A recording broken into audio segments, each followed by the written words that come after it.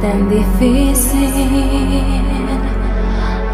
dejar los sueños tan vacíos y los momentos tan tristes en el corazón.